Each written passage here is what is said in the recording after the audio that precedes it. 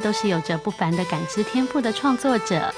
王文新老师是台湾现代文学中一个重要的名字，《家变》写了七年，《被海的人》写了二十三年，细细刻画了影响文坛至深的经典。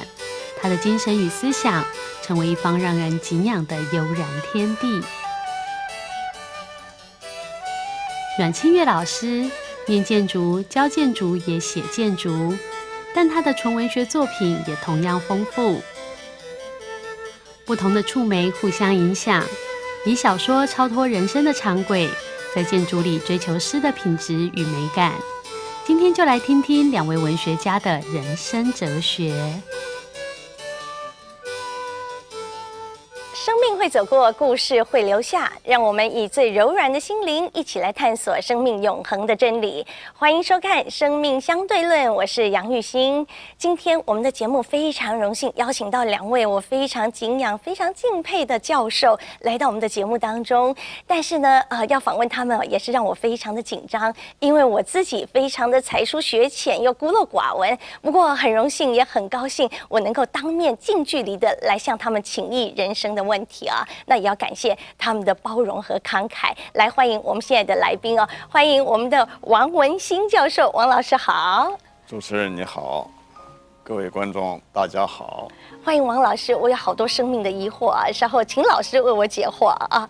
好，那么接下来呢，欢迎我们第二位教授啊，元智大学艺术与设计学系的主任阮庆月教授，阮老师您好。哎，主持人好，那我非常尊敬的王老师好，以及现场啊电视机前面的朋友们，大家好。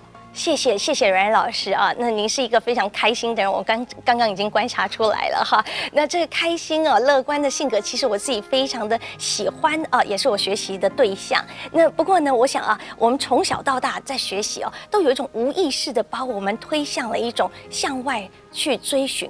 的一种方向啊，但是好像我们活到一个阶段，就会感觉到，哎，似乎应该要对内更智慧、更核心的一个元素，说不定是认识我们自己啊。所以呢，今天第一段啊，就先请两位老师来自我剖析一下，看看你们怎么表达自己，如何认识自己，而让我们的观众朋友来透过认识你们，也回到我们的自己身上来认识我们自己啊。那所以，如果要问你是谁，那么。你会怎么说呢？王老师先请好了。你要问我是谁？简单的讲啊，啊，我是三个字啊，教读写啊。教读写。那就是说，我第一个身份大概是个是个教员啊。是。那么第二个身份是个读者。是。第三，那是才是作者。教读写最大的乐趣，都因为和文学有关系。嗯嗯嗯。而且，读的占的比例最大。是。呃，教脱离不了读。是。写也是脱离不了读啊。是。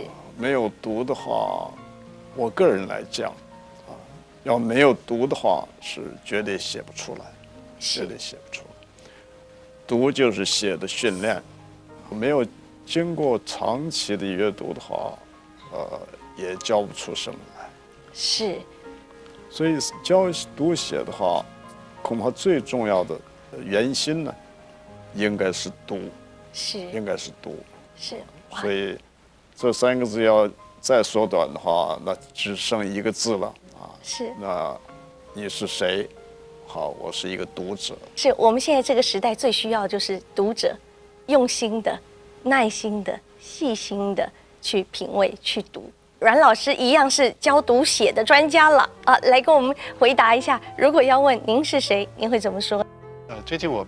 蛮喜欢读《道德经》的，所以《道德经》在讲混沌这个东西，我觉得我就是像一个混沌的状态，它应该中间有一个核心，可是外在就不断的改变，因为这世界一直在变，你每天都在变，那可是会就是透过这外在，其实还是要去寻找你的那核心的，那核心其实是是很很难去捕捉的，可是我相信它存在。我觉得创作其实也有可能就是在找这个东西吧。王老师有没有想要回应阮老师在这么短时间哦讲了很多的东西？老师有什么样的看法？刚才你们讨论说，这个人到底啊是意义何在了，等于是这个问题啊。是人生到底是要做什么事情，究竟该做什么？我想人生到这个世界来就是来劳动、来工作的。那你选择什么来进行这个劳苦的工作啊？有人是劳力的啊。那么我个人呢，或者很多像我这样的人呢，是选择学习。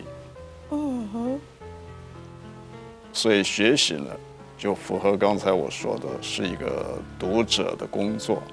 是读书的目的无非就是学习，是长期的学习。是，哇，这太棒了！答复这个本质的问题，老师提到的是学习，好，透过学习，好来灌溉那个生命的本身。那如果回到认识我们自己的身上来看的话，要问两个大家都要问的问题，就是你们自己觉得自己的优点、缺点是什么？那这些优缺点呢，能够对你们命运、人生有什么样的影响？其实我的优点跟我的缺点是同一件事，是。呃，它就是我的记忆力不好。啊。对，因为我记忆力不好，我得到很多好处，但也有很多问题。因为记忆力不好，事实上，呃，我后来一直在想，我记忆力是非常不好。那是。那是啊、呃我从小学就没有办法背书，啊，我从小学就被处罚，那造成我一些在在台湾这个教育的过程很大的困扰，是像英文单字我也没办法背啊，等等。是是那后来我觉得这个变成很棒，因为我不能背，我就要用别的方法去解决很多问题。是所以有一些能力因为不能背就发展出来了。是比如我记得杜甫的某首诗歌，我背不起来，我大约记得它整个氛围，所以我要去捕捉那个氛围，所以我会自己要去寻找一个一个再定义或者再再去把它重新铺出来的一个方式。那我自己现在想起来，其实就是这个事情啊。我小时候我觉得我跟别的小孩最大的差别就是，他们背得起来，我背不起来。那起先是我最最倒霉的事，我现在觉得因为这样，我得到很多优点。呃，我想他的意思是说，记忆力不好可能是一个优点，一个最大的优点。是呃，我个人没有遇到这个问题，也没有人说我记忆特别好，也没有人说我记忆不好。但是呢，几十年下来呢，我是完全知道当年所背的书是一点用处都没有啊，而且完全不应该背书，像读唐诗、读杜诗啊，是当年我们背过的杜诗呢，一点美感都没有，然后也妨碍今天再回头去了解啊，因为已经麻木了。你同一首诗，你也再读不出任何美感，是没错，都糟蹋掉了。是所以最要紧，读书的话不是靠背书，应该是靠了解。是关于英文单字也是一样啊，你去认它就好了，你不一定要去背它啊。认它的意思就是说，你认出一个大概一个字以后，你下次再看到它，你就知道它的意思了。那我多看几次，多读的话，你就记得了。你完全不需要经过这个实际的过程。你多认几次，跟看一个人一样，陌生人你多见几次面，他就是熟人 啊。你用不着每一个人，我把他的脸型、眼睛、鼻子在哪里都给他背下来，免得将来我忘记他。没有人这样做。谢谢，这是一个好的方法啊。那但是我还要再回到认识自己来说的话，你们为我们分享一个你自己这一生当中觉得很自豪的成功或者失败的经验。那对你的人生这样经验有什么样的启发？假如我这一生做最重要的一件事情做对了的话，就是我到国外去以后，我决心回到台湾来啊。我放弃一些机会，可以在国外找工作啊，或者在国外继续这个进行研究等等啊。是呃，什么原因我回来呢？我我是最崇拜西洋文化的人啊，到现在我都不讳言这一点啊。西洋文化非常的高明啊，我到现在还学不完。但是呢，呃，如果我要选择我自己要做什么工作的话，呃，我想我当年的选择是选择对的啊。我回到台湾来，呃，这个环境呢，可以给我充分的时间跟自由啊，来做我想做的事情。是，那么至于说什么是我想做的事情，刚才已经解释过了，就是啊呃，读跟写跟教这三样。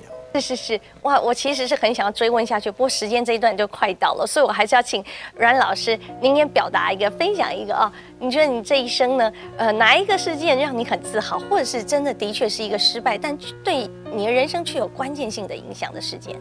其实有一些，不过刚刚王老师讲的其实还蛮准确的，讲到我自己的经验啊，就是我在我是我原来我我的专业其实是建筑，是那我在美国工作几年，后来某个机会就是也是美国公司送回台湾，然后我是一九九一回台湾，九二年我就自己开了事务所。呃，我觉得整个那个十年下来，我觉得我对自己做的事情或我的生活或生命状态其实是不满意的。然后我真正想做的事情不能做，啊，那因为它会互相干扰。那大概到二零零二的时候，就这十年后，我那时候做了一个大的决定，就把事务所结束掉，我就转到刚刚王老师讲的教书、读书、写书这个这个方向去。那个选择没有人知道是正确或错的，在当时。不过现在回头十年回头下来，我自己是回头看，我是很高兴做了那个选择。是，不，我想啊，老师也提到，就让我们可以有一个得到提醒，就不断的去检视我们现在的生活，然后我们也确实不断的回应我们真实的感受，然后有时候的确要做出一些选择，是那选择背后其实需要一些勇气的。对好，那当然也有很多价值跟信念在里面。那我们在这里休息一下，然后等一下继续要来听一听，哎，他们有哪一些兴趣，他们的专业如何培养？马上回来。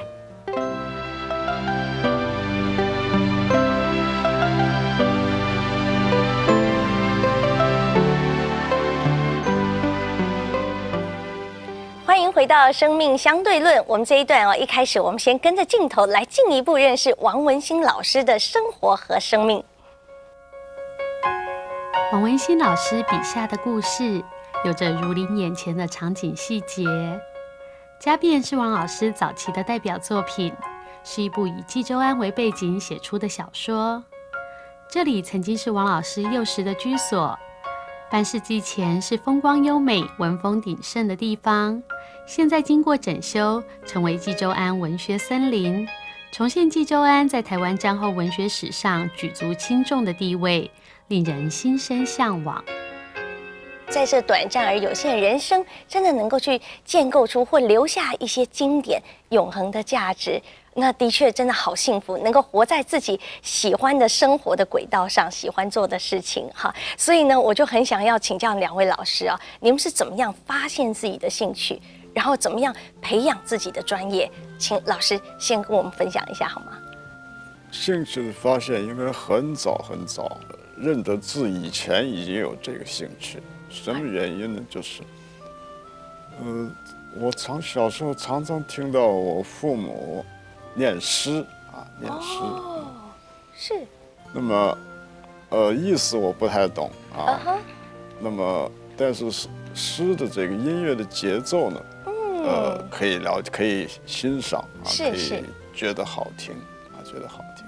是所以这个兴趣呢，应该是先从韵文开始，啊是是诗的这个押韵的韵文开始。是，从前因为生活比较苦，像今天的很多的一些课外的活动，我们都没有办法参加啊。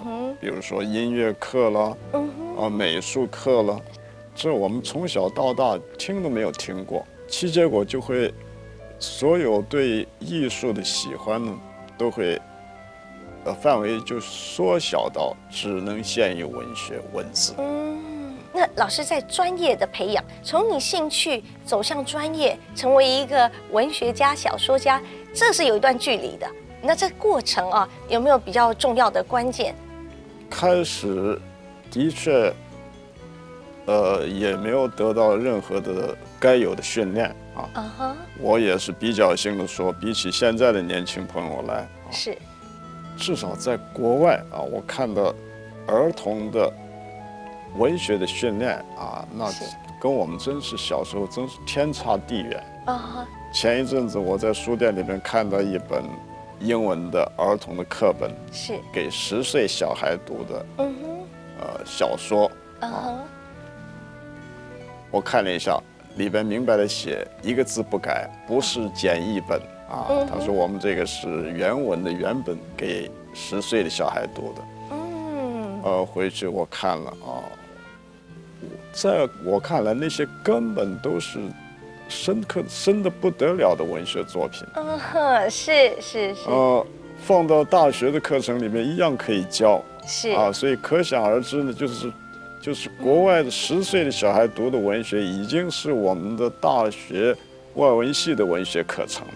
是，所以老师发现了这个东西方的差异。那如果要说再回到专业上啊，您觉得时代不同，以至于训练也不同，您觉得您在早期没有受到这么好的教育的机会？那么，如果到现在来看，您觉得回头来看这一条专业的路，最大的瓶颈是什么？刚才讲过，所以等于我在高中以前就没有真正的该有的正规的文学教育，很有限啊，很有限。那么到以后呢，我个人是进了高中以后，学校也不够，给的也不够，啊是是我自己找的。是那么怎么找呢？呃，幸亏我的学校呢的图书馆里头啊，是有一些纯文学的呃书本。是，而且是英文本嗯啊，所以当年呢，因为实在找不到书可念，就发了狠，就想走这条路啊。当然，我同班的同学跟我想法的也很多，大家都想，那我们直接看原文。嗯，所以开始只能跟语言奋斗，只能靠字典啊，只能尽量挑啊容易读的啊，尽量挑容易读的。呃，当年我们，我记得我们比较觉得容易读的是一些欧洲文学啊，翻译成英文的书本，是这种的翻成英文的英文呢，啊，就比啊原来用英文创作的英文呢要容易读一些，啊，比较好。读。您还会觉得有什么样的瓶颈吗？有还是很多哦。那么，当然我现在回头看，比我中学时候我克服了很多啊，等于爬了很多山啊是，都克服过。但是眼前还是有跨不过的，跨不过。我到现在也很苦恼啊是啊！第一，我经常跟人坦白说，我读不懂莎士比亚。终于，哦终于有人讲出这句话了。对，呃，莎士比亚的呃 sonnet 可以啊，是但是莎士比亚的剧本常常我觉得困难万分啊。是呃，我不懂的还很多，我读不懂 Milton，哦，我到昨天还在奋斗啊。呃，我经常拿起这个《失乐园》（Paradise Lost） 是啊，然后我这个乐园对我来讲永远是失乐园，啊、我还我不能懂啊。是，哦、这绝不等于我否认他们，而是说我还在努力。哇，我觉得应该很多朋友都会心里觉得得到一种安慰跟一种力量。原来王老师也有读不懂的东西啊，那我们读不懂那也没关系，但是更重要是要努力、积极、更用功的学习啊。我这一段最后一个问题是：你们有偶像吗？心中有崇拜的对象吗？刚刚王老师谈到西洋文化啊，那老师如果要具体的讲，有吗？有有也是很多很多啊，嗯，写的好的作家啊、艺术家当然都是我的偶像。是嗯其中大概要选一个人的话，那我就选弗洛贝尔。嗯弗洛贝尔哼哼哼，是是，为什么？哦，一来是他的文学精美度啊，是大概是最高的，嗯啊，最高的。然后他对文学的这个坚持跟严肃的态度啊，也是最高的。是他把文学当做一种呃宗教来信仰。嗯哼，是，哇，的确，这个稍后我要继续来请教老师哈。那阮老师您呢？呃，我事实上，只要只要谈偶像，也一样是艺术家跟作家了。那如果说也是很多，就是他事实上就整个像一个血脉这样子传下来。呃，如果真的要挑一个，我会挑杜斯托耶夫斯基。是是是。对，对我来讲，他是一个好像就是一座大山，就是你只能抬头看的一个大山。他在面对文学，他自己的生命就是相当惊人嘛，哈。是。然后他怎么坚持他的做文学这条路是。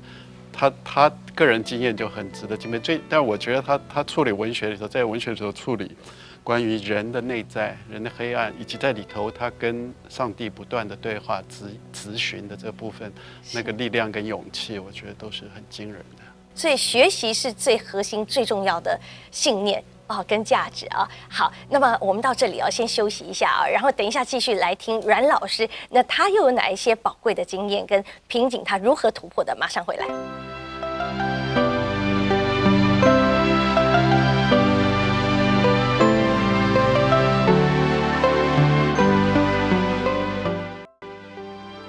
迎回到《生命相对论》。在上一段，我们听到王老师的奋斗和学习啊，那这一段要特别来听听阮老师。那您的经验呢？你怎么样发现自己的兴趣，然后如何培养自己的专业？在专业的这条路上，有遇到什么样的瓶颈？那您如何突破？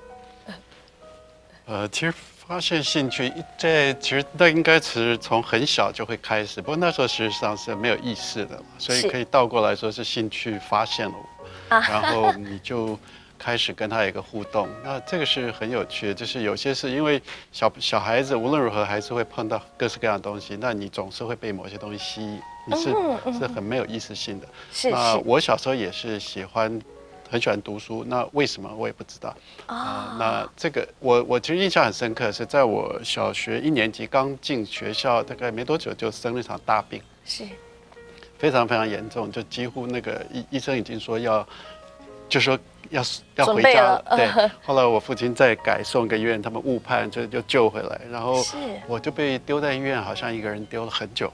啊，因为我父母还是要要照顾家里啊，所以说我一个人。然后到最后终于可以出院的时候，就我父亲来带我。然后他就好像觉得要弥补我什么，就说：“那你可以说你一个愿望，你想要什么，我可以给你。”然后我那时候其实才刚刚进小学，我跟他说我要我要书。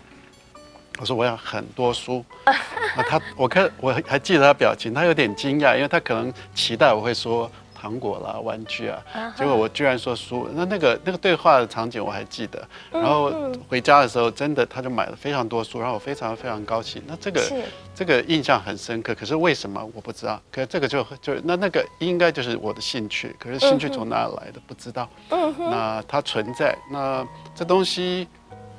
可能到后来，然后这就是不管怎么样，你就会有一个被派到一个专业开始发展生涯。不过你原初的那，我们可以说初衷吧，那东西还是永远会在。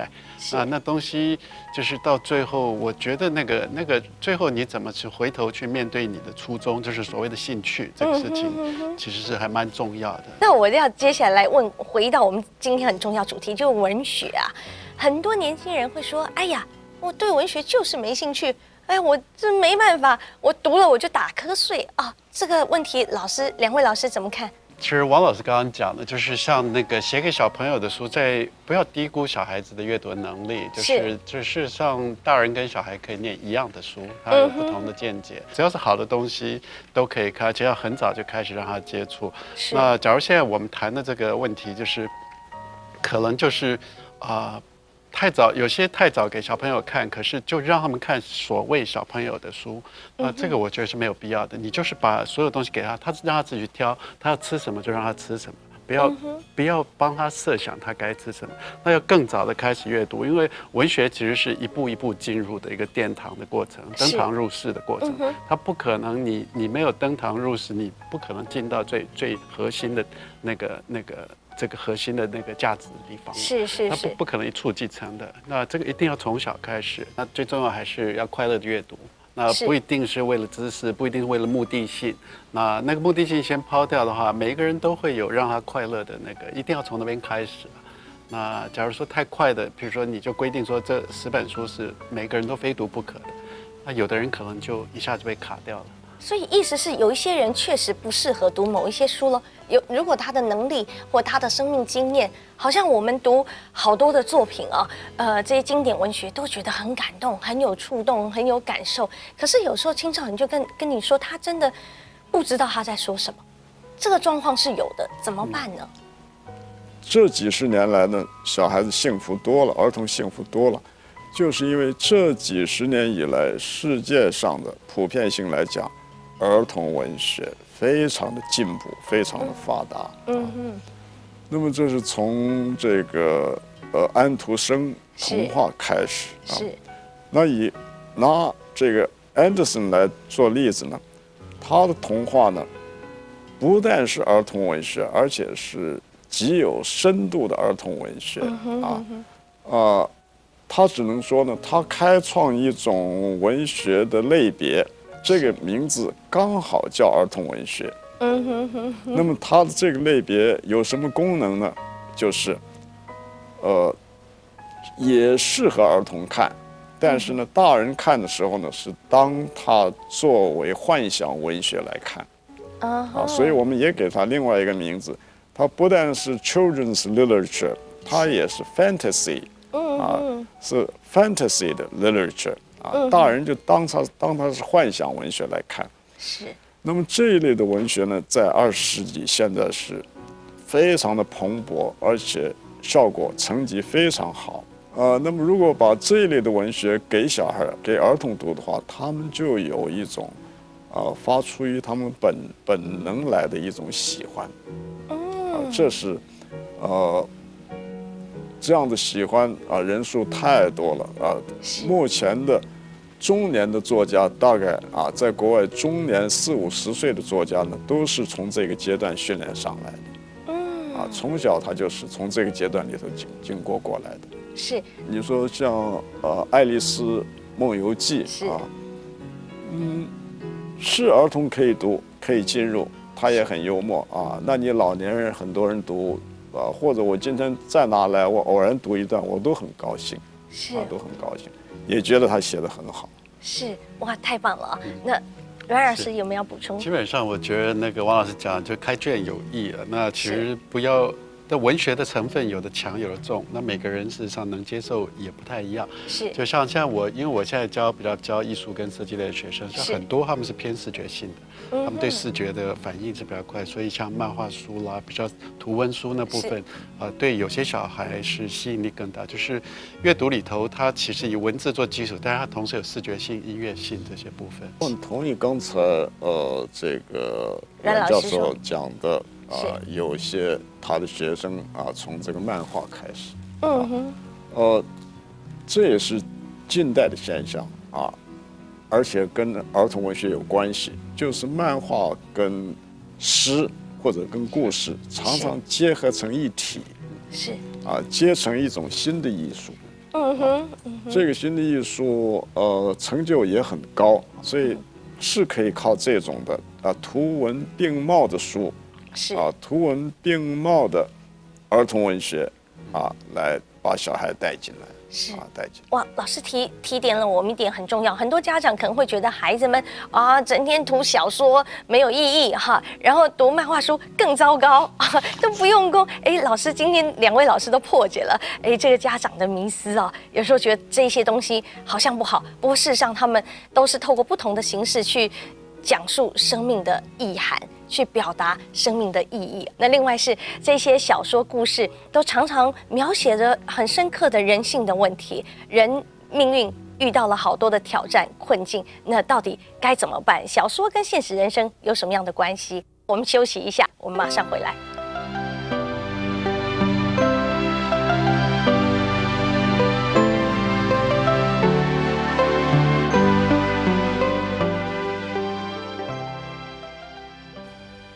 欢迎回到《生命相对论》。我们这一段哦，一开始我们先跟着镜头来进一步认识王文兴老师的生活和生命。阮老师说，王文兴老师是这个时代最珍贵的作家之一。王老师一直有着自己的方式与步调，感觉有着这个世界不太影响得了的节奏。他主张慢写与慢读。在看事物的时候，总能透析我们未曾注意的许多细节。一眼望之，看似平静的湖面，却有着喧动的内在思想，从而呈现纸上，蔚为经典。我们回到文学的核心里面，常常探讨人生、探讨意义、探讨理想、探讨困难啊。也许小说会是一份寄托，会是一个出口啊。那老师怎么看这个小说跟真实人生之间的关系啊？它有什么样？你们有什么样的观察？跟您自己在创作的时候，你觉得是什么样的关系？小说或者是整个文学来讲，都是解释人生，是解释人生。那么，当然哲学更是解释人生，是。可是哲学呢，是用解释的方法来解释，是。那么文学呢，是用这个重现的方法来解释，啊，他把人生呢移到纸上来，啊，把它演出，啊，把它，呃，这活生生的，或者是以模仿的方式来。来解释人生，我完全同意这个世界，呃，丑恶跟罪恶是绝对存在的啊，绝对存在。那么接下来就问，那么上帝为什么，天主为什么还要让它存在啊？那我只能，我想想了很久，只能是这样回答，就是说，毕竟，呃。必须要有对比才行啊！要有白，一定要有黑啊！有白天，一定要有夜晚！如果没有丑恶，没有罪恶的话，那么美跟善，你怎么看得出来 啊？必定是两者相对的啊，相对。所以这样看来呢，就我们就了解了这个天主。制造这个世界，啊，还是很公平的，因为它要美的话，一定要有丑，啊，这是必备的，啊，必备的。那么剩下来的问题就是，对于一些不幸就落在丑跟恶里头的人，是不是太不公平？嗯哼。假如我们把灵魂看成只限于这个世界的话，那很不公平，啊，有人生下来不到一岁就被屠杀了。啊，战争里头就被屠杀了。嗯。但是呢，假如我们有宗教信仰的话，我们会知道啊，这个灵魂的寿命是不是限于在世界上？是。啊，它的因为它是灵魂的关系啊，它不是人的躯体啊，它是可以长久存在的。是。长久存在的。那么既如此呢？可见呢，不是不公平，而是他在这个世界上受苦以后，他脱离开，他后面还有很长的时间，那段的时间可以是个补偿，啊，是可以调，可以调和啊，可以平衡他前面的任何的不公平，是前面的受苦。好，那我再转过来来问一问阮老师啊，那您的经验啊，您觉得？这个小说跟现实人生之间哦有什么样的关系？你自己的经验是如何？我觉得小说有它存在的一个目的性跟必然性，它不是突然出现的，它一定有它的原因。它小说不是不是很久的，它呃是呃大概其实真正的它是在这这过去的两三百年间发展起来。呃，有一有一种说法，有一个理论说法，说小说的出现是因为神话的消失。那神话当你不信的时候，你事实上就失去了一切的答案。那你必须，你就是处在一种没有答案的恐慌中，包括你没有信仰，你不相信任何事情，是因此没有答案。是。那小说事实上承担了要开始回答所有不可解的答案。那这个。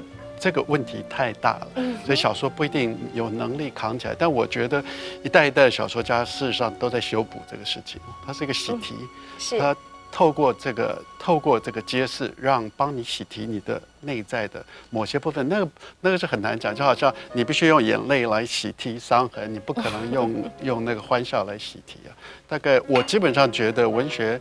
尤其是小说有绝对有它的一个意义性跟它存在的目的，它不是一个娱乐或是一个给你消遣或是一个一个装饰品，完全不是的。是，是。那老师，那您自己怎么样去面对？像刚您提到了悲剧啊，这么多的悲剧，一方面它可能是真实的，比真实还真实。你自己怎么面对？而作为一个文学家创作者，你还要去创造啊。那一个是面对，一个是创造，你们怎么样？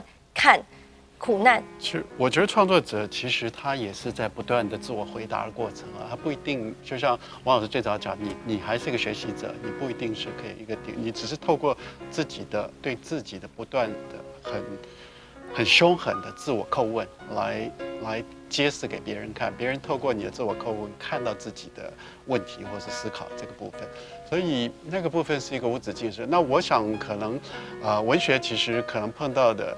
第一个问题，它就是生命的死亡这事情，所以它必终究还是要跟神学跟哲学这两个扣在一起的。嗯，就是这个是是一个最终是他们是文学必须它脱不了哲学跟神学，不管它是用具体的形式或者不具体的形式，它最终你会发觉他们其实是是合在一起，就是真正好的文学一定有回答神学跟哲学的问题。是因为这两个问题都神学或哲学最后要答复我们生死、罪恶、快乐、幸福这些最终极生命意义跟价值所在啊，都要靠最后要靠到信仰神学。那我们在这里哦要再休息一下啊，等一下来听一听。那么人生有没有一个终极的方向是值得我们去追寻的？那会是什么呢？我们马上回来。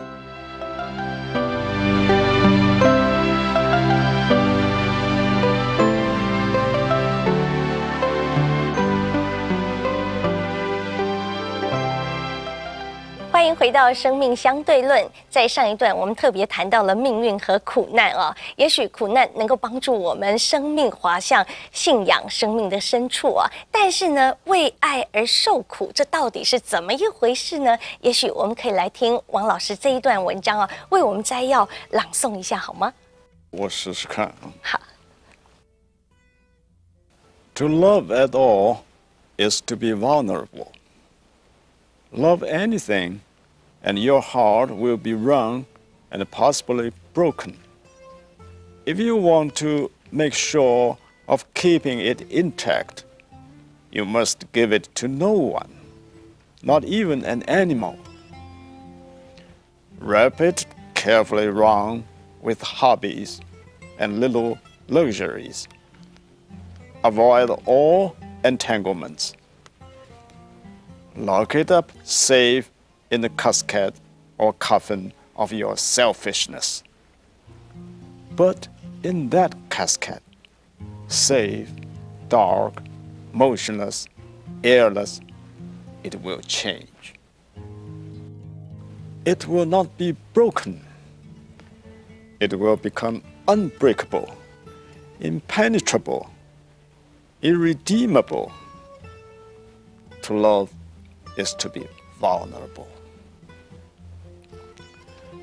爱上任何人事物，你的心都会感到痛苦，甚至可能破碎。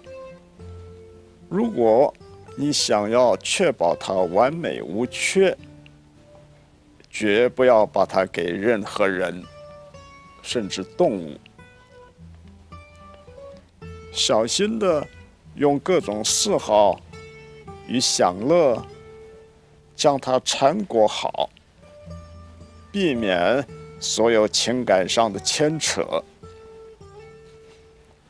将它好好安全的锁在你自私的抽屉或坟墓里。安全、黑暗、平静无波，连风都没有。但你的心在这样的环境里会改变。它不再易碎，变得坚不可摧，难以穿透。固执的无法改变，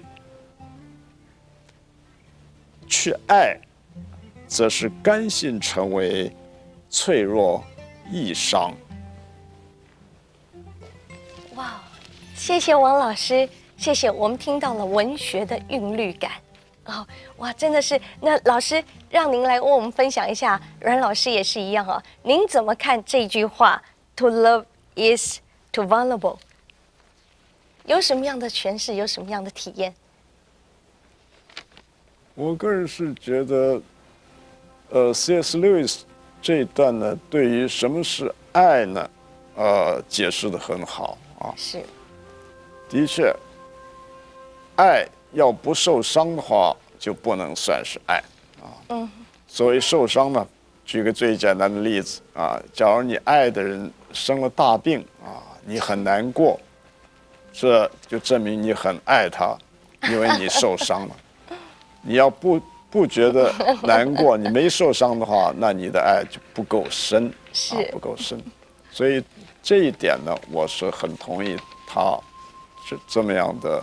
呃，犀利的分析什么是爱啊？是爱就是要受伤，是，而且人间的爱总是有实现的，焉能不受伤啊？总是有时间性的，是，这是我第一个感觉。阮老师，您怎么看这句话？怎么看这一篇文章？是他说的是很很正确嘛，就是其实爱一开始，当你有爱的动机的时候，是为自己，是，可是当你真正在这个爱情发展过程，你到最终你会发觉，其实你是为对方，所以它是有一个主体跟客体的转换。那那也可能就是爱，爱不可能是一次一一次就达成，它是一个过程。那过程其实就是从原来是想要一个为自己的目的，到成为了对方。所以老师这里就有一个问题了：这个真爱难道是真的要一点一点都纯洁无瑕，不能有一点自私的渴望，是吗？对，所以也是我的一个问题。那我在想，假如这样的话啊，那么红十字会那种帮助人的爱算哪一种？啊，那种大爱啊，他到处去帮别人忙啊，广施援手。是。呃，但是我想他不会呃，因为看到有人受苦，他每天嚎啕痛哭。他也不会有那么样的受伤的厉害，是。啊，这种广大的人类爱博爱呢，不容易受伤，嗯嗯，他会奉献会施出，但是也不容易受伤，是。啊，那么你去问这个呃那位修女，那个叫什么名字？德瑞莎修女。对啊。啊，当她在印度帮人忙的时候，是不是她每天都痛哭流涕？不。他说他向来说他很快乐的去帮助别人，那恰恰相反，是，他是快乐的不得了的去帮助别人，是，他没有掉眼泪，那怎么讲？他是大爱。是，那老师您怎么看爱跟信仰之间的关系？爱跟信仰之间的关系，这个我平常想的比较少啊。当然，我比较能够了解，就是说你走进信仰以后啊。你比较容易踏上大爱这条路。嗯哼。刚才我说大爱的这条，你比较容易走上啊，Mother Teresa 这条路。是。那老师，您觉得 C.S. 路易斯这个小小的呃，这人跟人之间的这个爱的定义啊，跟我们耶稣信仰，耶稣背着十字架走上苦路啊，这一路有没有一些内在的相应呢？也许有，只要这样看，我不是说这种大爱不是说痛哭流涕，而是说你为大爱受苦的话，也许可以跟他所讲的，跟刘易斯讲的符合。是啊，就像是耶稣他愿意背这个十字架，愿意受难。是啊，那么或者呢是说，呃呃，一般的这个红十字会的人，或者是神父修女。愿意冒生死的危险到战场去救人的话，那么结果就受到了各种的苦难，也受伤啊，也甚至于捐弃生命的话，是。那么这样看来呢，又符合于他刚才讲的了。是。啊，又符合他刚才讲的。是那么应该说，他的受伤反而是什么受伤呢？是肉体受伤，而不是呃这个内心受伤，是，不是灵魂上不是灵的受伤魂。。他灵魂还是 Mother Teresa 那种很高兴的啊，接受他身体的苦痛，是，在他付出的时候，付出他大爱的时候。嗯哼哼哼，是哇，太棒了，听起来真的蛮感动的、可以给我们一些提醒。就有时候，当我们在斤斤计较，当我们在思考我要付出多一点，我要少一点，我要得到什么，我们渴望别人来爱我们的时候，其实我们更需要思考我们在爱里面，我们保持什么样的态度。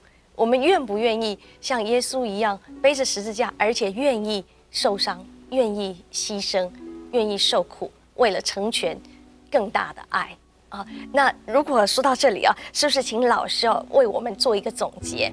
怎么样鼓励所有的观众朋友，在我们有限的人生里面去追求一个美好的人生？用一句话，您会怎么说？阮老师先请好了。我就就借呃王老师的话吧，我觉得就是向前面的人学习啊，多阅读。太棒了，王老师，您呢？是的，啊，文学上我也是觉得多读，而且要慢读，嗯，而且要慢慢读。是啊，这个读得快啊，就是等于没读啊，就等于白读。所以人生的问题上，呃，我相信啊，走上宗教是唯一解决人生痛苦的一条路。啊，我这里不一定要强调说选择哪一种宗教啊，而是普遍性的来讲。那么，走上宗教以后的打开解决苦痛的钥匙呢，只有一把，就是祈祷，是。就是祷告这把钥匙。是，啊，谢谢老师给我们这么明确而精炼的人生的指引啊。那我自己在想啊，讲老师讲这让我想到了上一周啊，本堂神父，我们的教堂神父杜神父，他就跟我们讲到一件事，他说啊，我们本身活在世界上不是光明本身，但是我们是蜡烛啊，我们必须透过燃烧我们自己，我们能够照耀出光明来，因为那个光可能就是老师所说的宗教。我们本身没有那样的，不一定有，也许有啊。但是呢，我们也透过燃烧我们自己，奉献我们自己，能够让世界更光明、更有希望。感谢两位老师精彩的分享，让我们获益良多。谢谢，谢谢。